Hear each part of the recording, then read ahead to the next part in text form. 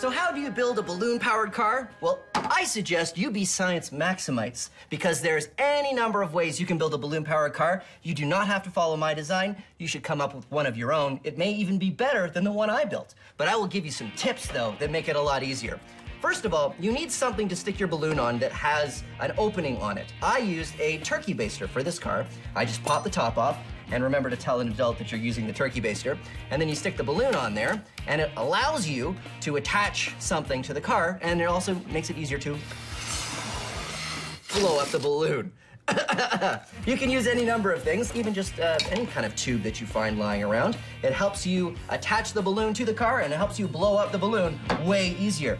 The other thing you should think about when you make your balloon powered car is how you're going to make the wheels roll. Once you've decided on the base of the car, you could use anything, even just a piece of cardboard like this.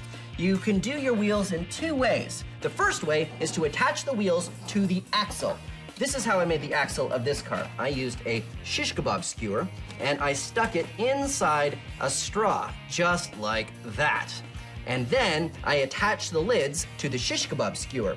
So the lids and the shish kebab skewer are attached and they rotate in the straw. That's one way to make the wheels turn. The other way is to tape down the axle or whatever you're going to use uh, and have the wheels spin around on the axle.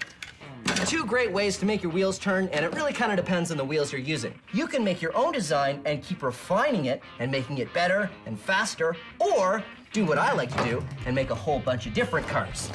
So we've got this one. Uh, this one I made out of paper plates, and this is a snorkel. Awesome.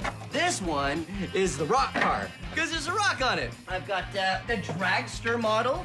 It's a long broom handle, and it might not work that well, but who, who knows? And this is my favorite design. It's made out of waffles and an ice cube tray. This is why I make a whole bunch of different cars, because I can race them.